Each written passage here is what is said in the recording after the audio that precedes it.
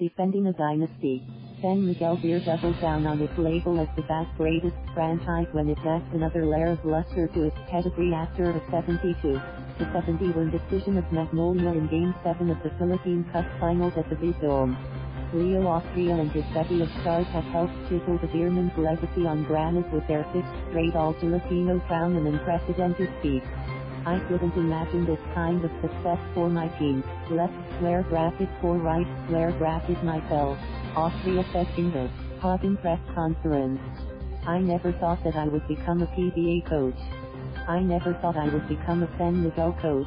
Left square bracket let alone right square bracket win a five peat. But God is really good. San Miguel now has nine Philippine Cup crowns, and this latest conquest is the hardest since the team needed to crawl out of a 0-3 deficit to win a 7-game series against Alaska. And the Beermen did it by pivoting to defend. I wasn't buying the trend that whenever we are held to under 100 points, we would lose. We made 72 a winnable score, Austria said. San Miguel also won Game 6 after scoring only 98 points.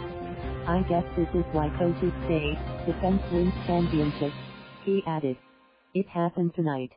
We've been criticized before that we didn't have defense. Today, the team showed all the things that make the champion team. Veteran, Arwind Santos feels the Beermen's legacy is now safe. When the time comes when we're old and being pushed on wheelchairs, when our grandchildren are already ones playing basketball, we could tell them that we were the only ones able to do that. That's San Miguel. And they are not even done. It's harder to play teams with a no bearing game mentality, he said. What if we get to compete for another title? We have nothing to lose because we have the 5 P already.